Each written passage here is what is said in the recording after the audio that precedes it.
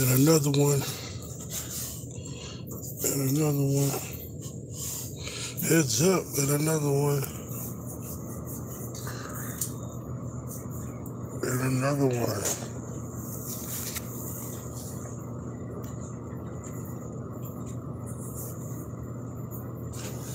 How can you not be amped about a fight like this? Two lightweight fighters all the belts on the line. You got Serrano who's been dominant, doing her thing for for the for, for years. You know. Let's see if I his office I'm going to. Hold on. It's up, it's up. Use this office back here. Use this office back here, y'all.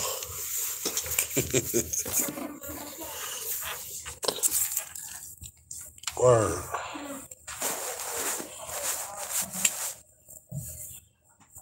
Work. I'm gonna be in the office in the back, all right?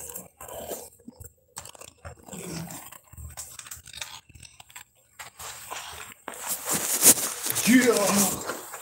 In the office in the back, yeah.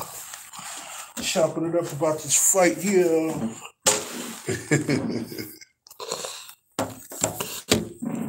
Why I don't like going live at work, man. What's up, man? All right. Chillin', chillin'. That's how y'all do, man. So live at work.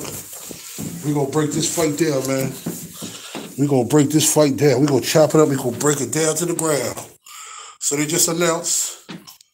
Well, they've been announced, but they formally announced Amanda Serrano. Amanda Serrano taking on Katie Taylor. April 30th at Madison Square Garden. You know what I'm saying? That's a beautiful thing right there for boxing. It's a beautiful thing for New York City. That's a beautiful thing for women's boxing also. You know, you got two of the top best fighters in the world finally taking on each other. Everybody been waiting to see this. Everybody been wanting to see this type of fight for quite some time, and now we finally getting it. And it's in the garden, baby. It's in the garden. Ain't, ain't nothing better than having a fight in the garden, B. You know what I'm saying? It's gonna be stacked. It's gonna be packed. I'm pretty sure Jake Paul's gonna get himself on the card. Uh, maybe he'll fight another Tyron Woodley type of dude. I don't know. you know what I mean? But you know, this this fight card is gonna be packed. It's gonna be solid. Eddie Hearn got his people from Matchroom Boxing on the squad. They gonna be they gonna bring some fighters on. What more can you say about this fight, man? It's a huge stat card. It's a huge fight card. Next week they're gonna be face to face in um on February second live from um, NYC. Um, they're gonna be face to face. They're gonna chop it up. They're gonna talk about the fight. Uh, two pound for pound stars. Head, they headlining, bro. Let's let's keep it a buck here. They headlining. They they ain't being featured. They are the main event of this card. When have you seen two women main event the card, especially in Madison Square Garden? They are the first to do this. This how this is how this is how epic and huge this is. Amanda Serrano from Puerto Rico, from Brooklyn, Katie Taylor from all the way from Ireland. You know what I mean? They are headlining in Madison Square Garden. Do you know how much money is going to be made to see? I'm telling you, it's going to be a lot of people are going to pay to see this fight. People are going to pay to see this fight. Believe it or not, people are going to pay to see this fight, and they're going to have to stack it with a great with a great undercard. They're going to have to stack it with a great undercard, man. Matchroom Boxer is going to have to stack this with a great undercard. Pound for pound female fighters, they are headlining, and they are the first to do it in, in 140 years of boxing history. They are headlining the main event at Madison Square Garden. You haven't had women fighters headline Madison Square Garden fights. Yeah, yeah, you had you had Serrano, Heather Hardy. They headlined in they headlined in the Hulu. I don't even know if they headlined in the Hulu Theater. I know it was a great fight though, but I don't even know if they headlined in the Hulu Theater. But what I do know is right here, right now, Madison Square Garden, it's going down. Katie Taylor, the iconic, the Irish icon. That's what they call it, the Irish icon. 20 and 0, six KOs, is putting all her lightweight belts on the line. She's undisputed. That would be the WBO, the WBA, the WBC, and the ring. I, and the IBF, excuse me. IBF, WBA, WBO, WBC, WBA in the ring. She put all her belts on the line against Serrano, who who's just been just just blasting everybody out the out the woodwork. No matter what division she going, she she she coming away with a title. She's and she ain't just going there beating mandatory. She's going there beating the world champions. You know what I'm saying? She's beating the world champions because the world champions are beating up on the mandatories. And she going there and dominate the world champions of the divisions. So y'all can't say, you know, this, that, and the third about Serrano. Serrano beats the best of the best in each division that she fights in. Puerto, so Puerto Rico sensation, Serrano 42 and 1, 30 KOs, the Southpaw. Oh boy. Signed with the Brooklyn Southpaw, signed with Jake Paul's most valuable promotions. I think that's what it's called. I gotta read it over. Um, she's just been doing what she needed to do ever since she's into the sport, man. She was the 2021 Female Fighter of the Year for DAZN for ESPN and WBC and others. So they they got her. They got her out there. Like, come on, man. Her quote is, "When I turned professional, my goal was to be involved in huge fights." So the headline, Madison Square Garden, man. Dudes don't. There's, there's a lot of dudes that don't get the headline of Madison Square Garden, let alone fight in Madison Square Garden and she's getting opportunity to headline to be the main event, like WWE Raw and all that, the main event to come out with whatever music she want to blast.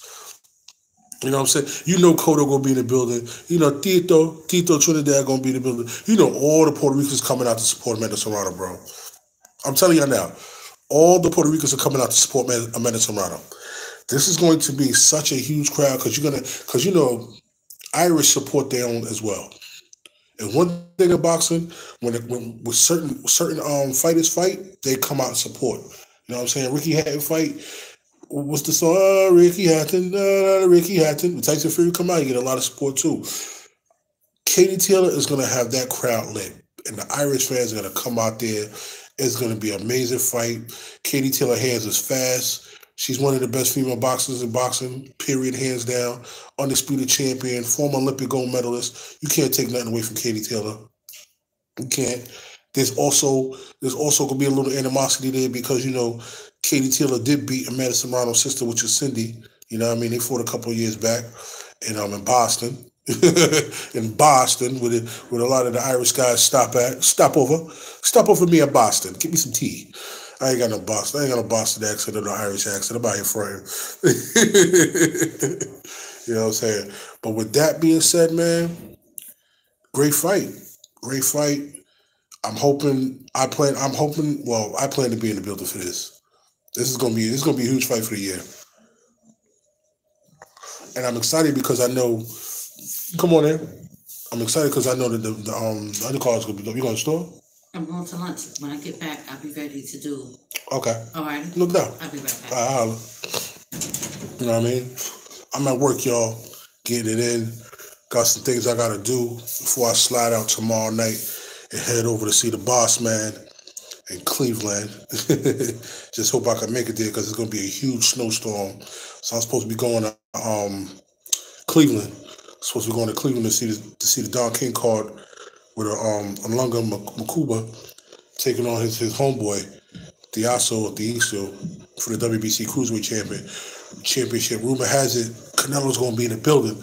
I highly doubt Canelo's gonna be in Cleveland. If he gonna be in Cleveland, he gonna be on Cleveland on Zoom. He ain't gonna be in no building. What Canelo look like being in Cleveland? you know what I mean? It's like, oh, Canelo gonna be in Cleveland. What the hell Canelo gonna be in Cleveland doing? Come on, man. Crazy? Canelo gonna be on Zoom waving at people. Hi, I'm Canelo. Word, B. So yeah, man, what y'all thoughts on this fight, man? Eddie Hearn is bigging it up. Jake Paul. Oh, yeah, most valuable promotions. I knew I was right. MVP, most valuable promotions. Man, he's still in that's that's a big L line, man. He's still in Big L, man. He's still in Big L's line, bro. Stealing it. He swag jack Big L. Come on, man. You're stealing Big L, man. You can't steal Big L's lines, bro. What y'all think, though, man? Amanda Serrano taking on Katie Taylor. Live direct Madison Square Garden, April 30th. It's going to be on DAZN. It's going to be shown wherever it's going to be shown at. Tickets on sale. This this coming um let's see here. Tickets is on sale. Pre-sale tickets is on sale February 3rd. right? And then they got the other tickets that's going to be on sale on February 4th. Tickets start at $56, bro. That's a good price, B. That's a good price. That means if you jump on it early, you can get a good ticket and possibly be near ringside. I don't even want to be ringside. I don't want to be near side, ringside, because you know me. I be, I be, I be ringside. I be wild, and I be rooting for, the, I be rooting for certain fighters ringside. You know what I'm saying? But this fight right here, oh, I cannot wait, man. I cannot not wait. It's, it's, it's you. I'm just, I, I, I love boxing, and I enjoy female boxers so much, and I respect the grind of you know where they've come from and what they have what they've had to do and it's just amazing to see both of them where they're at right now in the sport and, and taking the sport to another level. This is what I think Claressa Shields should have been doing or should have had the opportunity to do, but they got her over there fighting in Canada and London because she done signed with Sky Sports. So her next fight, if she gets past this lady in Canada, she got her next fight is going to be in London against Savannah Marshall, which basically she needs to take care of that. You know what I mean? Because Savannah Marshall is the only person to ever defeat her inside a boxing ring. You know what I'm saying? So she definitely gotta, you know, get her. She gotta go over there and take care of that bi. But it's like you know, certain fighters and women boxing should be on the forefront. Should be you know supported just like men's boxing. And I'm happy to see that they finally bigging up two of the best in the sport. They got them locked in. They got them ready to go at it. You know what I mean? And, they, and they're getting paid the way they're supposed to be getting paid. That's number one. They're getting paid for for doing what they do. They they are getting paid for what they're doing. I don't know who's getting paid more because Taylor is the champion. But we all know you can't fill up them seats without a without a dancing partner. And what better dancing partner to have to fill up the seats in Madison Square Garden than Amanda Serrano? Like you gotta see the bigger picture here, man. She could she could fill out seats, like cause she fought on the Joshua undercard, so she filled out a section or two. You know what I mean? She could uh, Taylor. I think Taylor alone probably can. I wouldn't say sell out the um the hulu theater. She would have. She would need a good dancing partner to do that. But Madison Square Garden and with a great undercard, because they're gonna they're gonna, they're gonna have to make a good undercard to sell out the garden. The goal is to sell out the garden. The goal is not just to be headlining and, and be like, okay, yeah, we we did good and we we had a couple of seats left. No, the goal is to sell out the garden. Every time promoters put on a fight, they want to sell out. They want to sell out and create more openings to put more chairs in. You know what I'm saying? That's the that's the role of a promoter to, to sell, sell, sell, sell, sell, sell. Go watch Trading Places when when they were selling at the end and they kept they they couldn't sell no more. He was like sell, sell, sell. you know what I mean? That's the goal and the role of a promoter to sell, sell, sell. The goal for this fight is to sell as many seats you can or possible, and they are going to push, push, push. And and, and they're going on a and they're going on a tour. So if they think they're going to catch Serrano slipping, you're not going to catch her slipping because wherever Serrano goes, she she trains. No matter where she goes, she's going to get. She's going to step in the gym and get in there. She's going to let them hands go. To break, I'm a, I'm gonna give her a fight analysis, a breakdown as we go along, because there's a lot that both fighters do very very well. Each fighter does have flaws in them. Every fighter has a flaw in them. Every person in the world has a flaw in them. So everybody's not perfect at what they do. You know what I'm saying? So as as the fight progresses, as they go on their world tours, as they talk and do this and do that, I'm gonna break down my I'm gonna give fight fans my own personal fight analysis. Um right now and forever, I'm going for Serrano. That's that's fam. That's my heart right there. You know what I'm saying? I think Serrano can stop Katie Taylor, but there's certain things she's going to have to do to stop Katie Taylor. You know what I'm saying? This she she's going to have to. She she she could do it. She can do it, and, and, and, I and I can I can see the round. I could probably see it maybe eighth ninth round. And and and, and I'm gonna tell you early. It's all gonna be. So it's gonna be about the body. As long as somebody goes to the body, Katie Taylor's gone. As long as long as somebody don't headhunt and get happy, go to that body, Katie Taylor be going by eighth ninth round. People can't take Serrano body punches, yo. Serrano dropped dudes in training, bro. Serrano, Serrano dropped dudes in training. You think Katie Taylor gonna take these shots? Uh-uh. Uh-uh. All Serrano gotta do is go to the body, just go body, body, body. Don't headhunt. Because Katie Taylor can move ahead, and she got fast hands, and she's and Katie Taylor is really a natural counter puncher. When you watch Katie Taylor fight, she's basically a natural counter puncher. Serrano always is the she always is like the lead. She's always the the fighter to come forward. She always bringing the aggression, bringing it, bringing bringing the power. If she fights, it doesn't fight with just her head straight on and coming with power. Then you know she'll she'll probably the fight will probably last longer. I mean, the fight probably won't last longer. If she just comes in with the knockout mindset, like I'm gonna knock her out and do this, that no, the fight is gonna last longer because Katie Taylor's gonna do a lot, do as much as she can, clinch, grab, hold, everything. But if Serrano uses some form of finesse, and she has finesse, Serrano has finesse, but her power is so overwhelming that at times it gets the better of her and her opponents. Because she be hitting her opponent so easily and so hard that opponents be like, yo, that's enough of that. I'm out of here break down that body, go to that body, you will get Katie Taylor out within eight, nine rounds. Katie Taylor conditioning is not all that. It's not. I, I watched that close up when she was fighting Del Delfine Persoon, and, and everybody knew that Persoon. I mean, yeah, she was a bigger fighter, but everybody knew that Persoon won that fight, man. Everybody knew that on the Joshua Ruiz undercard a couple years ago. She has since come back and beat Persoon and others, you know what I mean, because she because she can box. Katie Taylor, Katie Taylor can really, really box. Hands off. You gotta you gotta respect her boxing game. For real, for real. With that being said, I'm still going with Serrano, and I'm going early. Predicted Serrano eighth, ninth round, eighth, ninth round stoppage. Female championship fights don't go but ten as it is. Um, they only go two minutes. Who's to say? Who's to say if this fight goes the distance? Who's to say if this would be the first fight to go three minutes each round for a female fighter in boxing? That's a question that needs to be asked. I'm gonna be live and direct from that post conference. I'm gonna have my camera up right. I'm I'm getting it in, bro. I'm definitely getting it in. I'm interviewing everybody here. I'm I'm getting interviews with everybody. I'm going. I'm, I'm gonna holler at Jake Paul. I'm gonna take his hat. I'm gonna say, "Yeah, touch my hat, bro. Yeah, yeah. Take your hat, bro. It's my hat now, punk." but take Jake Paul hat. You know what I mean? I'm going to holler at Eddie Hearn. I'm going to holler at um, Serrano. I'm going to holler at Taylor because cause this is a mega fight, man. Two female fighters headlining. Headlining Madison Square Garden. Don't get no bigger and better than that.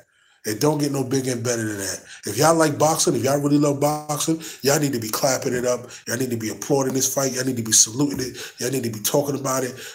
You know, making sure people buy into it. Both female fighters, they deserve the love and respect from the fans. They deserve to get paid the way they're supposed to get paid. Man, fantastic fight. I'm excited. Hopefully, y'all guys will get excited. I'm gonna be back soon enough because I'm just so in awe of this right here. I'm just, I'm just like, wow, this is such a, a remarkable thing that they're doing in the sport of boxing, man. And, and we and we need this. We need this, man. We, we need to keep the sport going. Make sure you get um, yeah, you know, in the words of Leon. Make sure you got Unc, Mr. Leon. You know you ain't right. oh, I, am gonna get Mr. I'm gonna get Mr. Muhammad on it, but I already know how he gonna do. He gonna talk his ish and say he don't care about the fight because he ain't making no money off it. Y'all know, y'all know what I like. Y'all know what kind of boxing I like. You, you, you go to the graveyard or the funeral home. You go to the hospital or the funeral home. This, this ain't nothing to me. This ain't got nothing to me. I ain't making no money off it. I don't give a F about it. I don't give a F about it. That's how he is, man. And then he turn around and see him on fight week. Talk about yo, let me get a ticket, let me get a ticket. Where you at, Zavis? Where you at, Zavis? I want a ticket. Yeah, right, bro. You ain't slick, Mr. Muhammad. I'm gonna be I'm gonna be with him. Um, I'm, i think I'm I think I might get with him either tonight or definitely probably tomorrow. I definitely probably see him tomorrow. I gotta link up with him because we we supposed to be going out to Cleveland to this Don King fight.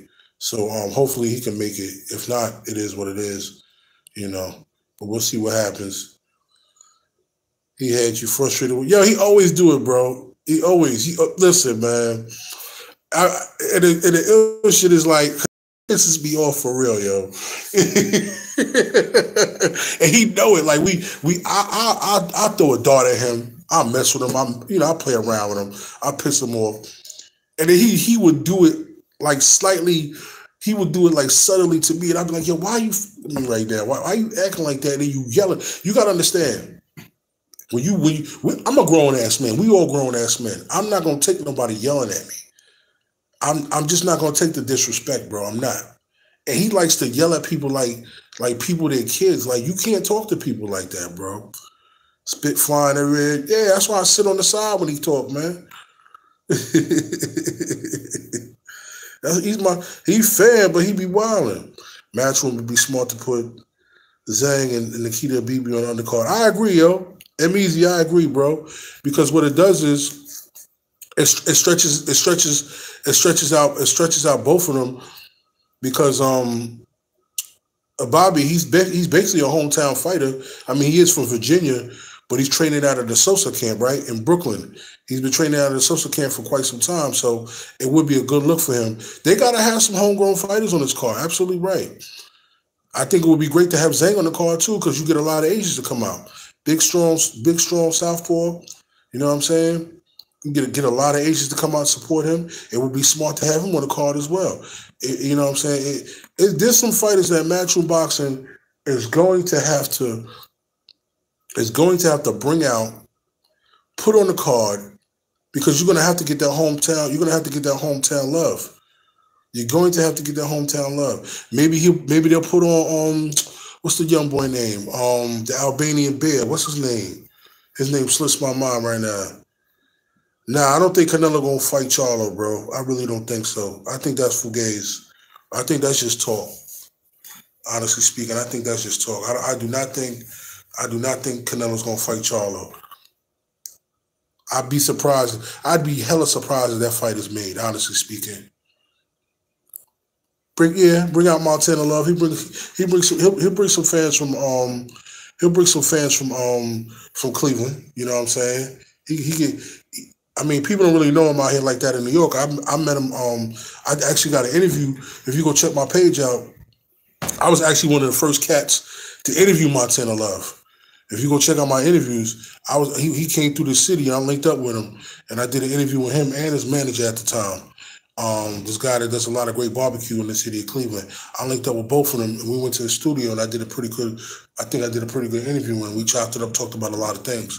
If you check out the page, you'll see it on my page. Um, with that being said, yeah, Montana Love, he bring a lot of people out. I don't know if he gonna have a lot of people to, to come out from um from from Cleveland to actually come see him fight in the city. You know what I'm saying? But you never know. I mean, you never know. You know what I'm saying? Oh shoot, hold on, bro. What time is this? All right, so I'm gonna go on this. I'm gonna go on this podcast, this interview with Chris Colbert, and um, I'm gonna come back to y'all. I registered to be on that. Yeah, Rashad Monty. That's what I was talking about, Outlaw. Rashad Monty. That's exactly what I was talking about, the Albanian beard. I'm gonna come back to y'all soon enough. I'm gonna go on this. I'm gonna go on this. Matter of fact, let me stay on the line with y'all. Yeah, let me stay on the line with y'all. Go on this. Go on this podcast. This Zoom joint. Hold on. Let's see here. I could, yeah, let me go on this with y'all. Open the Zoom. Let's see. Recording in progress. We're just letting the uh, the press populate the uh, the webinar, and then we'll get started with Brian Custer. All right, all right.